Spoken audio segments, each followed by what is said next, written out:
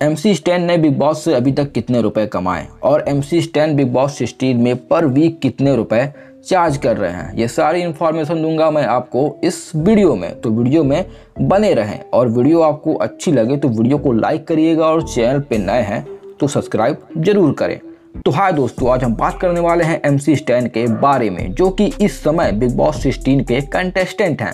मैं आपको बता दूँ कि बिग बॉस सिक्सटीन एक अक्टूबर को शुरू हुआ है और अभी तक बिग बॉस सिक्सटीन के 36 एपिसोड शूट हो चुके हैं। और अगर हम वीक की बात करें तो टोटल छः वीक हो चुके हैं और M C Stan Bigg Boss sixteen में पर वीक सेवन लाख रुपए तक चार्ज कर रहे हैं। तो अगर हम एम सी स्टैन के टोटल अर्निंग को जोड़ें बिग बॉस से तो अभी तक बिग बॉस सिक्सटीन के छः वीक हो चुके हैं और एम सी स्टैन जो है पर वीक सेवन लाख रुपए तक चार्ज कर रहे हैं। यानी कि M C Stan Bigg Boss से अभी तक बयालीस लाख रुपए तक कमा चुके हैं और अभी कमाते ही रहेंगे क्योंकि बिग बॉस 16 के आगे और भी एपिसोड बाकी हैं।